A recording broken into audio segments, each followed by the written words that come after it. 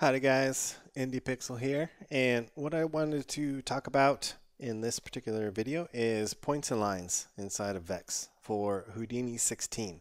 Okay, so what you see here is actually not being created by the line node. If we were to jump into this particular node right here, it's all being done with this particular attribute wrangle node.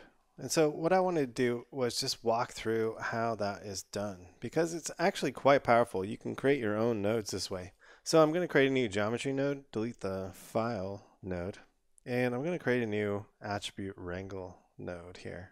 Okay. And what I want to do is I want to run over detail. I just want to run this once. right? It's kind of like running a function in like C sharp. You just run it once. You know what I mean? And we're not going to run it over every point. Because what I want to do is I actually want to create my own line. And let me turn off these display of the other object there. So what I want to do is I want to create a new int that's called point count okay? And this particular point count is going to hold a property or a parameter that we can create on this particular node.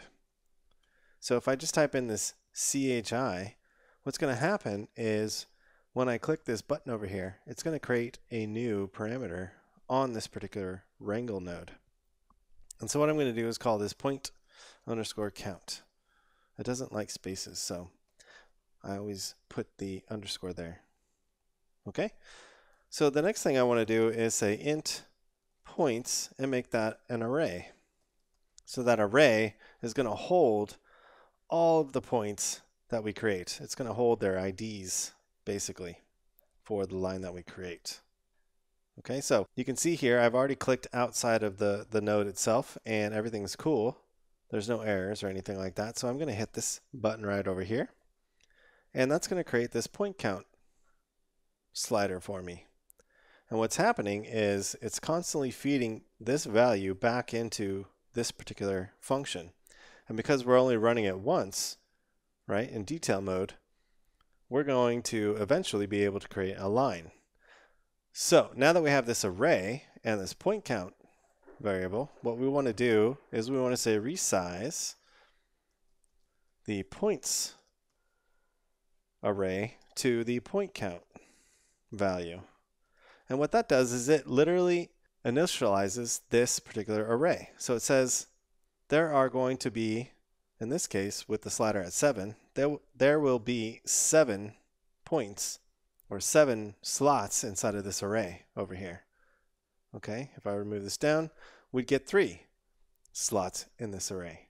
So what we can do now is we can say for int i equals 0, and i is less than the point count.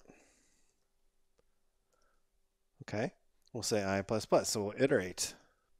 Awesome. So for each point in our array, we want to actually increment their position. And in this case, I'm just going to do something simple. So it's just going to increment in y by the i value. Okay, so what I'm going to do is say vector cur pos for current position, okay, equals a set of 0, i, and 0. So every single time we loop through this particular for loop, we're going to set this to the current value of i, which means, in this case, with the slider set to 3, we're going to start at 0, then we're going to go up one unit to 1, up another unit to 2, and stop, because it's a zero-based index, so it's 1, 2, 3. Okay, so we'll get 3 points and 2 primitives when we're done with this. Okay, so with that all set up, all we need to do now is create our points. So what we're going to do is capture the current point ID. So we're going to say cur point ID equals the add point function. So it's add point with a lowercase. Okay, add point, and we're going to say geoself, which just means that we are adding geometry onto this particular node. So whichever node that we're on, we're just adding it to this node. So geoself is this node. And we're going to say cur pos. because that's the position that we want it to be at. All right. So then finally, we're going to say points i, so that particular index equals the cur point ID. And now we have three points.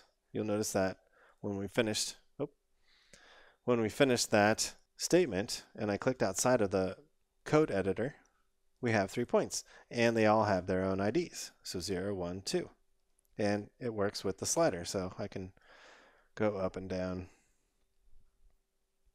like so. Perfect. So at this point, what we can do is we can easily just say add prim like that, okay? And say geoself. So we basically want the primitive to be added to this current node. We want to make a polyline, right, because we want just want to connect the, the points with a line.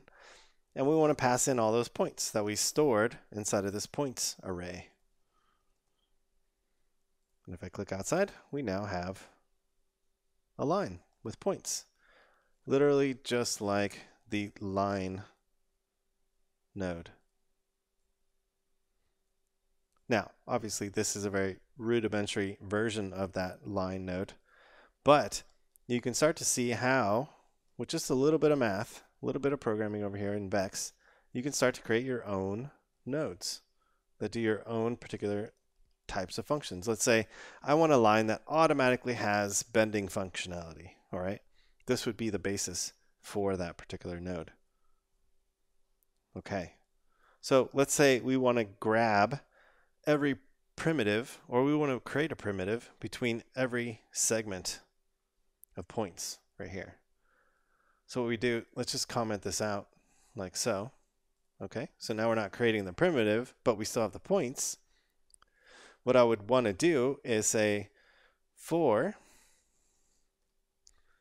int i equals 0, right? And i is less than the point count.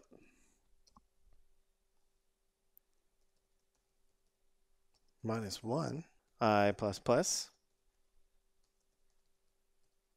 Okay, so what we're going to do is we're going to say, let's start at point 0, and let's find the point further, and let's make a polyline. Now let's go to point 1, find the point further, which is point 2, and create a polyline.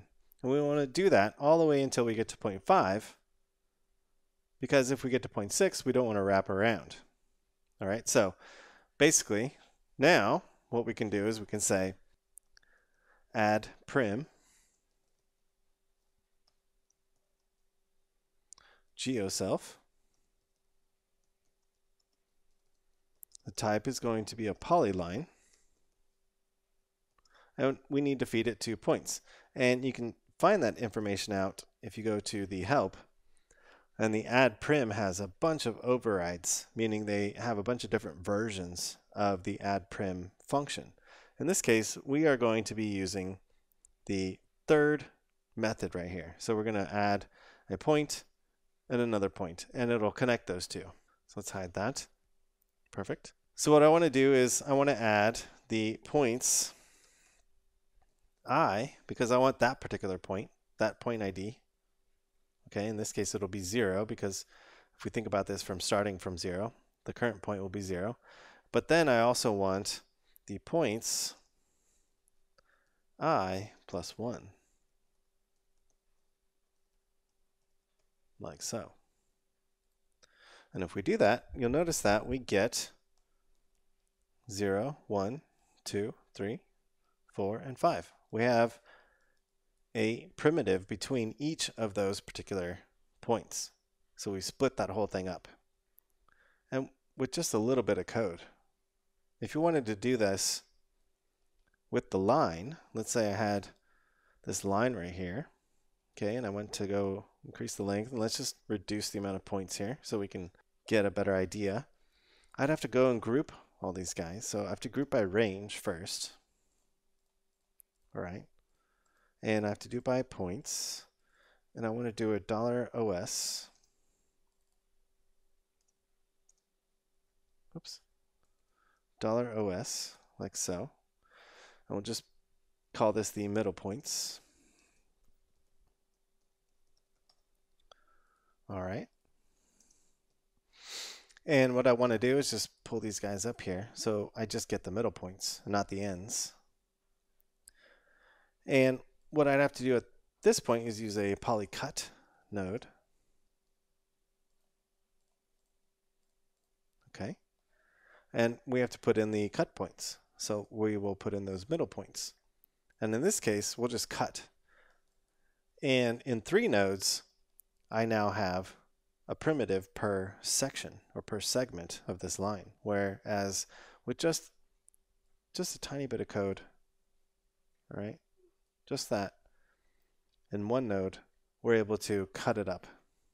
So again, it all depends on how you want to work. But I just really wanted to show in this particular quick tip how to go about creating your own polylines.